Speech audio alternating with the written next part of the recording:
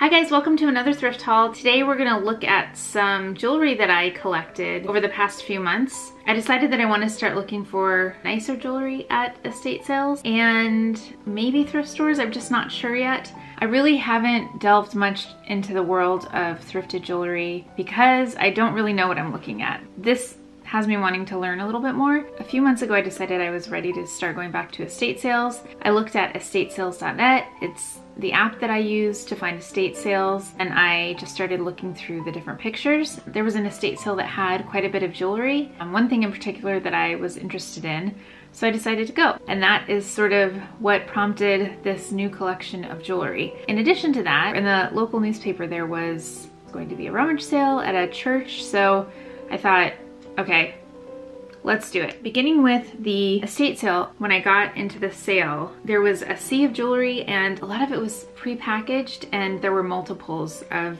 the same thing. That's what we'll start with. It was really inexpensive as well. There were multiple pairs of these crescent moon earrings. So I picked one up. It's just a little inexpensive pair of studs. This packaging looks like it might be from the 80s. A lot of the jewelry looked like it may have been from the 80s. I, I wonder if this person had a little business, perhaps. I picked up this star pendant. Got a little gem in the center. I figured that I would just give this to my sister. I really like this heart pendant. Again, I'm gonna give this to my sister, but I thought that she might wanna engrave something on it. I ended up getting a few things, so they just bundled the price. In addition to those, I got this pair of dangly heart earrings, which are super sweet. The woman who owned the house had a huge craft room. It was so much stuff. I know there were probably treasures there, but it was just almost too much to go through. There were quite a few people digging and camped out looking for things. There were stamps and charms and beads and all sorts of things.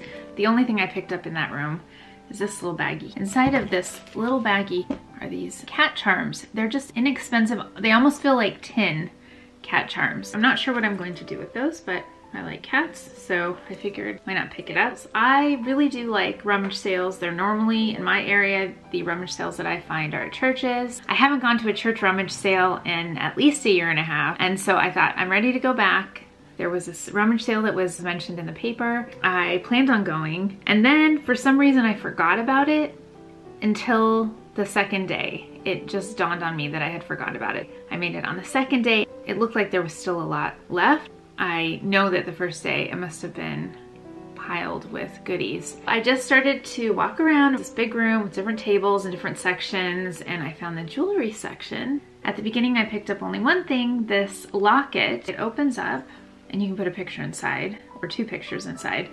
I have really been into lockets lately. For any friends or family members who are having babies, I've been giving them a locket with their child's picture inside. I had a friend who had a baby last week. I got this knowing that she was having her baby. I plan on putting a picture inside and sending this to her. I did the same actually for my brother and his partner had a baby in September. For Christmas, I got her a tiny locket and put a picture inside. It's one of my new favorite things to do is to buy lockets and to put pictures inside. I was looking for a locket, so I'm glad I found one. Then they made an announcement that everything was 50% off and the jewelry table said that you could fill a little paper bag with anything that you wanted from the jewelry section for $5.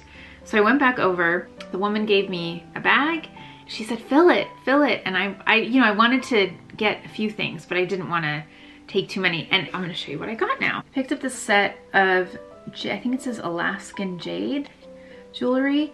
I don't love the style of this, but no one was really interested in it, so I just figured I'll put that in the bag and, and figure out what to do with it later. I got, what else here? This pair of earrings, which reminds me of Egyptian jewelry. I don't really know what these are made of. I like the style of them, and I think they are the earrings where you put the green stone will go in the front and then the other piece will hang underneath. I also think it would look pretty just all of it being on the surface. An emerald green stone and then gold. I thought these were beautiful.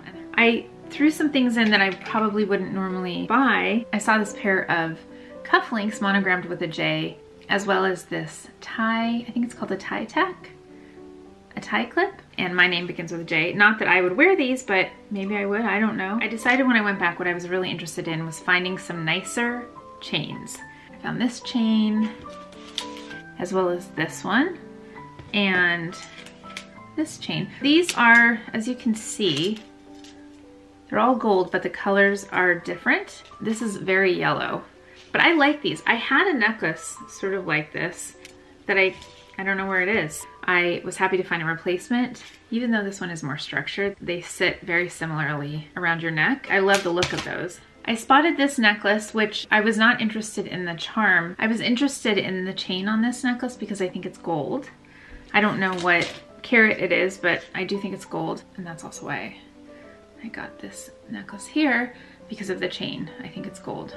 I found a few chains, which I'm really happy about because they can be kind of pricey if you just buy them. I know there are ways that you can tell whether or not jewelry is gold. I think you put it in a cup of water and it sinks or floats or something. So I need to check to see. Finally, I found some pieces that I just thought were fun.